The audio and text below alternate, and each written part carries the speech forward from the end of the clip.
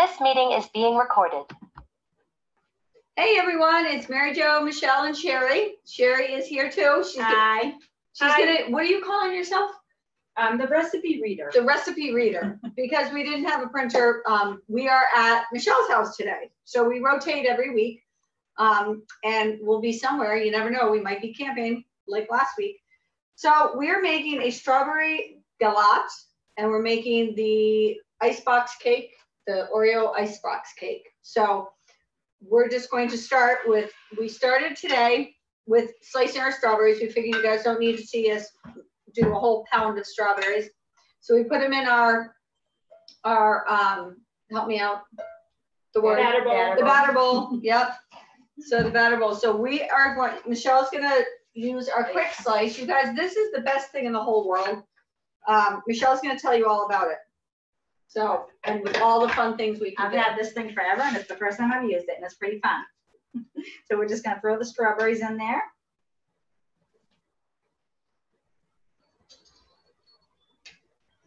And just push it down and they slice right up. And you can throw peppers in there, um, help me out. what else you put in there? Anything. mushrooms, um, mozzarella balls, tomatoes. Um, tomatoes are sometimes a little iffy, as long, as long as they're not too ripe, they'll, they So will That'd be great for like a, s- um, like a fruit salad, they cut right into slices. Yeah. And then if you want to dice, you just turn it and, and slice again and you can actually We can show them. Yeah. Look, We'll take show one of the strawberries and we'll just put it in. Slice away, Michelle. or- And so Ah. then they're, they're, they're diced instead of sliced. So that would be So- better for a salad. So that's good for salads and things like that. Yeah. Okay, so we're done with that piece. We can get that out of here. All right, let me get my recipe. Wait, wait, No, I already know. wait, no, wait, I have to be a reader. Okay, go. That's her job. I got one job. Will you let me do it? Okay. Oh, so combined sugar, you need three tablespoons. How about the cornstarch, because that's in my hand Oh, whatever. Two tablespoons of cornstarch. So you guys, we're using the, um, the measure all, or no, the, um, adjustable measuring spoons. And just so you guys can see this, it adjusts, you've got little, it shows you here. So one teaspoon, two and a half teaspoons, all the way up to one teaspoon. And then when you put it all the way down, it is one tablespoon. It is awesome. You need one thing for everything. And it comes in a smaller size as well. It comes as a set. So it's really great for those who don't have a lot of storage space because you don't need a, a whole bunch of spoons. This Okay, sugar no, or regular sugar? sugar. Okay. Yep, and then you need three tablespoons of white sugar. Are you gonna freak out when I put this in there? No, not at all. Okay. Okay. I don't use the sugar anyways. We won't tell Samantha. I was gonna say that would be a. How many? Three? Yep, One, two.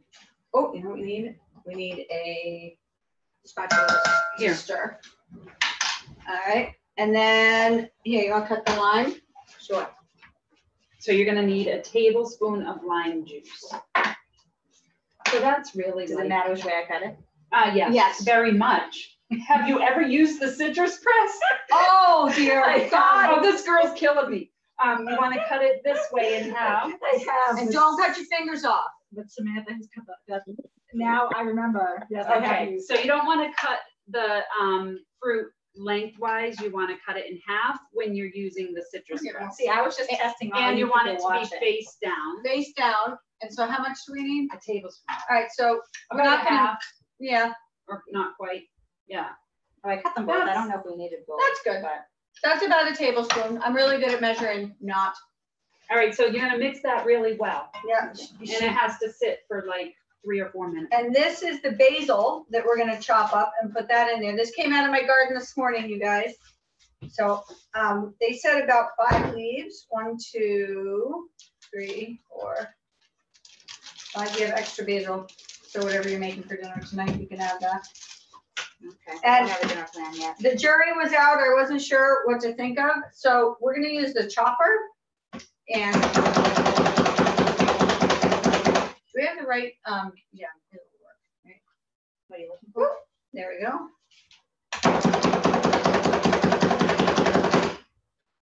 All right, you guys, and then we're just gonna dump that right in there. And they say you can tear it also, so if you wanted to take it, you just tear it apart. I didn't, I didn't have enough basil in there to really make it work. All right, and Mix then, it. Mix it, yep. All right, oh, oh, I'm getting my job. Yeah, Okay, all right, I had to go get a You're- spatula. You're fired. Yeah.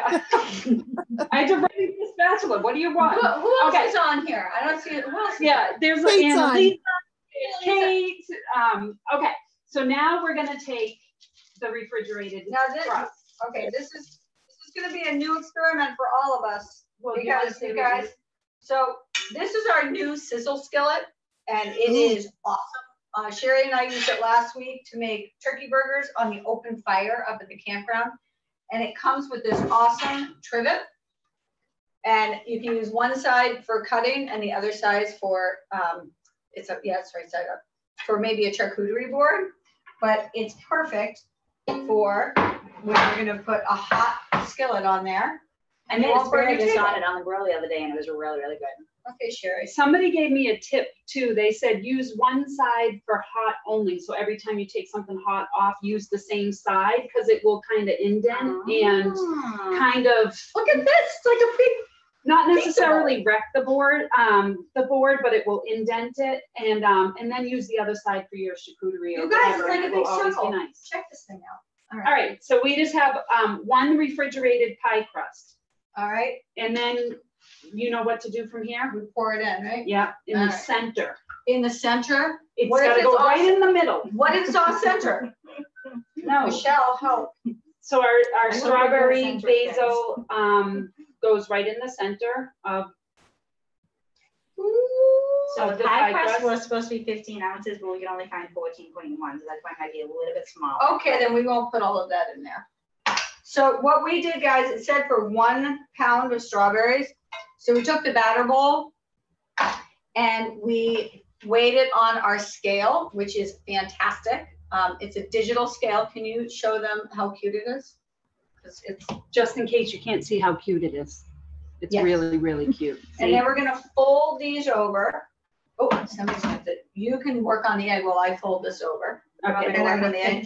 What am I doing with the egg? you're gonna, um, take, you're gonna use the egg, um, separator, and just do Separator. the egg white. She's gonna make an egg wash for around the crust. and I am just folding it over and pinching the little spots. So it's all stays inside. Oh, we can put the rest in. Separator. Yeah, We can put the rest in. Is that all I'm doing? Yeah, you're just separating the egg. And then So do you wanna show them? Here, put it here. And the egg separator. Just left the yolk, if you guys can see, perfectly easy. That was actually my first time ever using that. That was pretty cool. It And just came out of the thing, box. She's not good at, at getting things out of the box. She's worse than Debbie Pimple.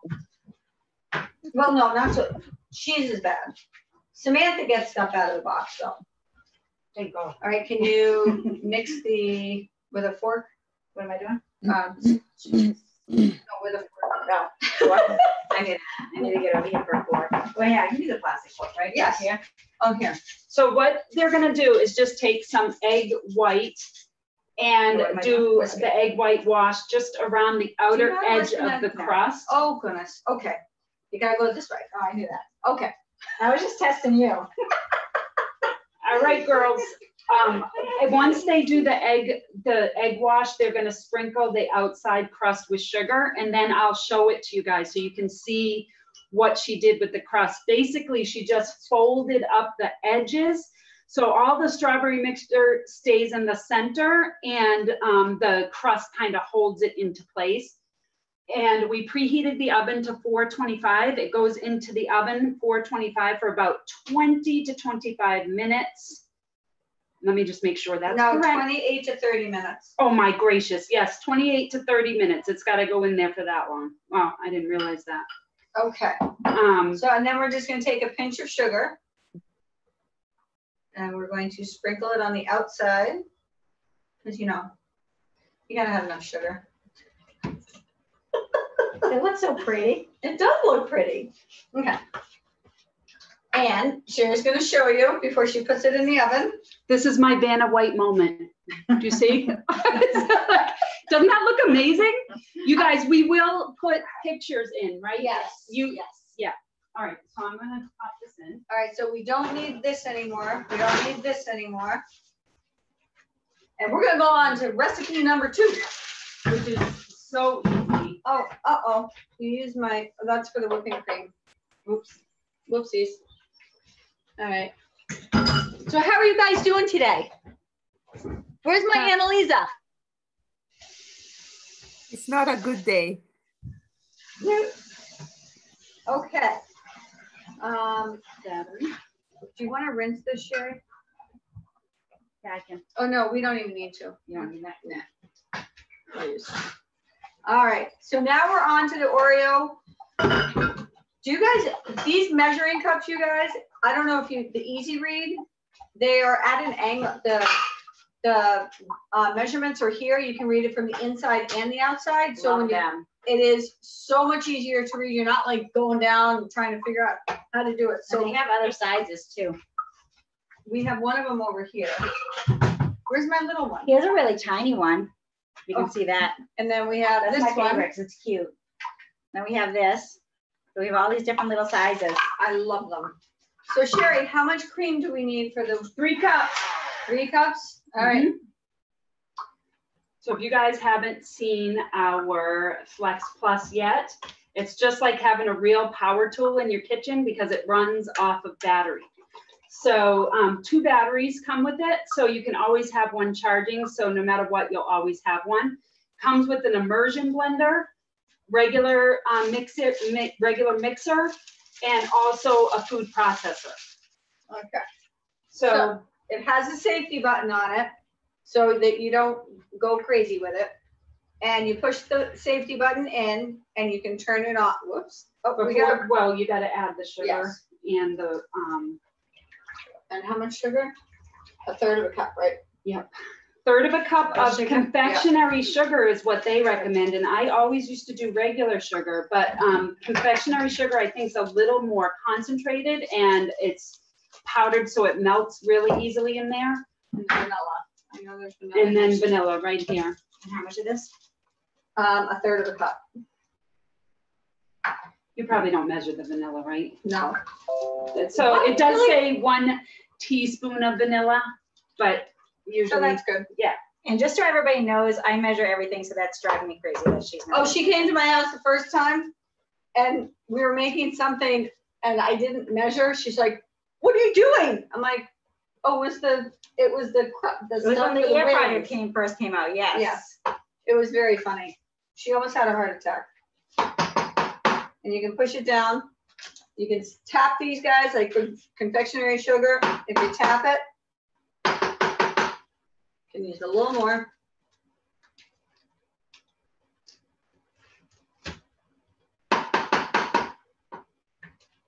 Plop. All right. so now you Michelle is just. gonna do this. You haven't used it yet, I have never used this thing. All right, so first of all, make sure you put the blender in here first. You're gonna push the emergent, the, the safety button, and then you're gonna turn it on. That's it. You can turn it on, Yeah, you can turn it on high now. And just a little tip, um, if you put your whipping cream, whatever amount you need, so for us, we needed three cups. If you take your whipping cream, you just pop it in the freezer for five to 10 minutes before you start blending, you are going to have whipped cream so fast, you're not gonna believe it. We didn't actually do that, but it's a really great tip. Which one? Um, to put the, um, cream in the freezer, just, it's really only five to Oh, 10 minutes. It doesn't take long. Now, what you want to do for this recipe is, um, this is the Oreo cookie icebox cake. You just want to have soft peaks in the whipping cream. You don't want it to be too whipped, which I think that's perfect. Because you want the Oreos to absorb the cream, um, and get, get nice and soft. do it slowly to get all the extras And if you wanna drive Michelle crazy, you could turn it on high and it could go all over the kitchen, but we won't do that. All right, Michelle, All right. you're on. So what do you got, Michelle? I have our rectangular cool and serve. And it actually comes with, um, ice packs that can go in there, um, but we're not gonna use ice packs today. They're We don't need it, it's gonna go in the fridge. So this piece comes separately, the ice packs go right in the bottom. This, this particular piece is fantastic for desserts that you need to stay cold in the summertime. Or, Or or salads. salad or Mexican 33 dip, cookies on the bottom. thirty cookies, count. Thirty-three. 33 cookies go on the bottom of the cool and serve. This is Well, gonna she- the easiest dessert ever. She, while she's doing that, I'm gonna show you guys how easy our whipped cream maker is. It's super quick. Um, I'm not gonna add, well, maybe I'll add a little sugar, because we're gonna put this on top of the, uh, Galette. galette. I'm not gonna do a whole, well, sure, why not? All right, that's the whole thing. And you want a little vanilla and. And a little vanilla. So just so you guys know, there's a little line right here, and if you push it, um, and if you put the cream, that ha, um, whipping cream to that line, it will fill pretty much to the top. Oh, definitely to the. Um, and you put a little bit of vanilla and a tablespoon or two of sugar, that's all you need. This is awesome for like a quick fix, you don't wanna pull out the mixer, you just need enough whipped cream for breakfast waffles or, or some kind of dessert. And again, I always put the whipping cream in the freezer to use this, cause that's just gonna make your life really So I'll simple. move that over there. Okay, can you guys see, the- can they see? I can't see that far. Yes, okay. Yeah. And then you just pump it.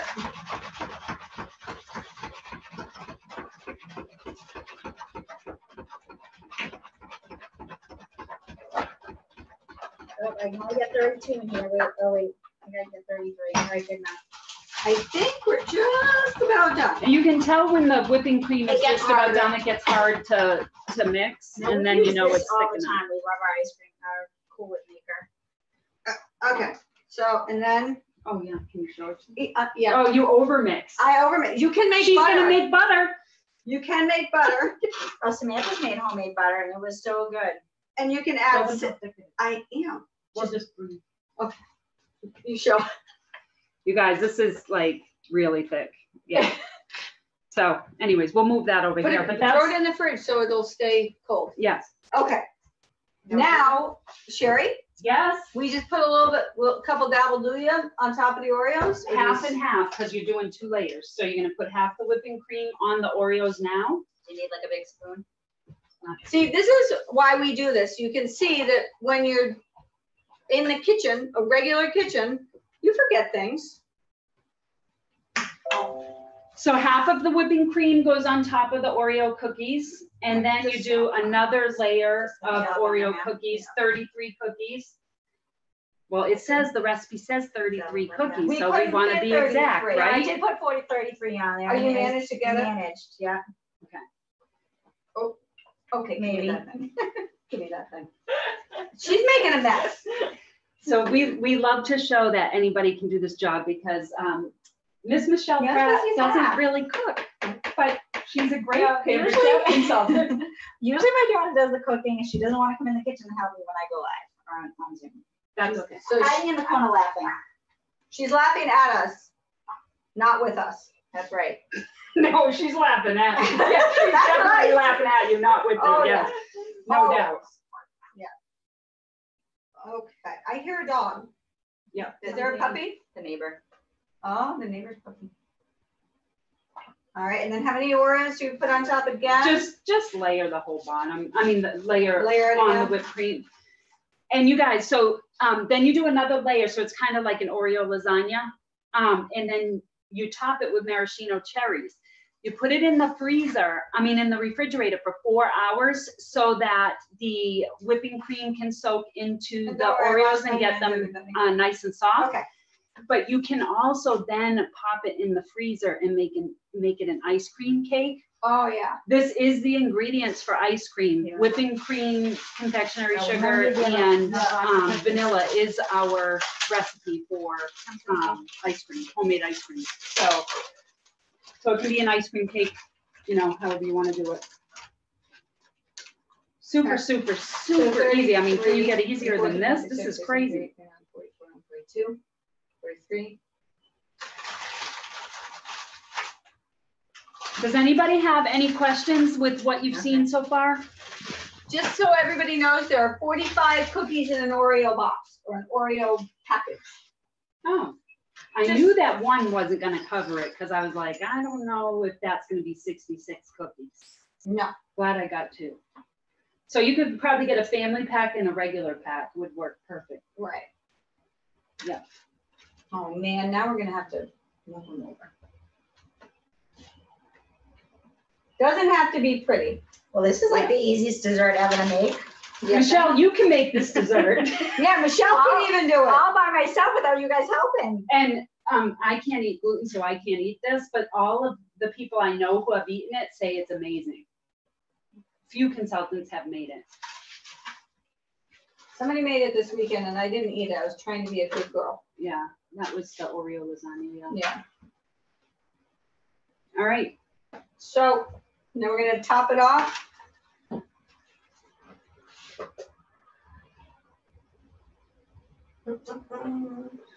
Now I just want to share while she's topping that off, you guys. Some of these, you know, higher price items like say the, um, the Flex Plus, it's a perfect host um, gift because you can get it fifty percent off.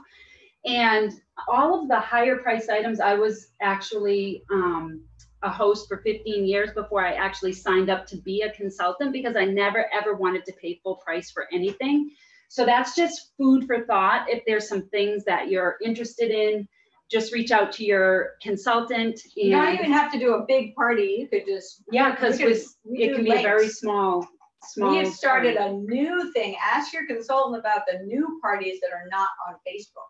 Yeah. They are so fun and they're quick and you don't really have to do anything. So that's just, you know, food for thought. Uh, if you want, you know, we all have big wish lists. My wish list is always bigger than my wallet. That's why I actually had to join Pampered Chef because hubby said I couldn't buy it anymore. he said, you have to start selling it and stop buying it. So I actually had to do that. And then So- I joined because Sherri wouldn't leave my house until I signed up. Just I love how she says that, but it's not true. It is not true. She came over, made the rush hour fajitas and I was hooked. So that was Alright. awesome. All right, you guys, and now a little cherry with our mini. These are so cute. These come, what, do they, they come with something. What do they come with? Well, you can get them by themselves, but they come in a set too. Yeah. So Yeah. And you just Michelle show, does yeah. not like cherry, so we're only gonna put it on half because this is staying. Yeah, or not her even house. half because she doesn't, we just wanted to show you because it does make it look really It looks pretty. so pretty. Are we throwing this out after we make it? Everybody No, knows. the cherries. The No, cherry. the cake. You're like, I'm not eating it. Mary Jo was like, I'm not eating it. I'm leaving it at Michelle's. Well, Michael will eat it. Yeah, And then clean off the edge, throw the top on and, put it in the and fridge put it in the four fridge. hours. Where's your That's top? it. It's a Okay, no bake, go. awesome summer recipe. So she'll, That would be fun to bring too if you're invited to a cookout or something. Yeah, bring it So, like, a closer get so you can together. see how pretty it is. So, yeah, Isn't that pretty? now imagine cherries are all the way across. That would be so Oh, and you can crumple some Oreos and put it on Oh. top too. That's, that's what the Ooh, recipe that's a great idea. Do you wanna do I didn't read, the- I'm really bad at being a recipe reader. Yeah, you're not a good recipe reader. Yeah, So. we- Sherri is not getting that job anymore because that would have been more pretty with the Oreo crumbs on it. Shall we Well, you them? can still do it. Let's do it here. Wait, and we can show the, We'll use, we'll use this. I was gonna say we can do the manual process. We should wanna do that. You wanna do the Manual Food Processor or one more We'll thing? do that one because that one's already dirty. Yeah. It might have some basil in it, but that's okay. So we'll just pop some cookie crumbs on the top. So who has any questions? Anybody? I'm gonna stop the recording in just a second so that you guys can, um, feel free to chat. But let me, There's some sprinkle. let me go ahead and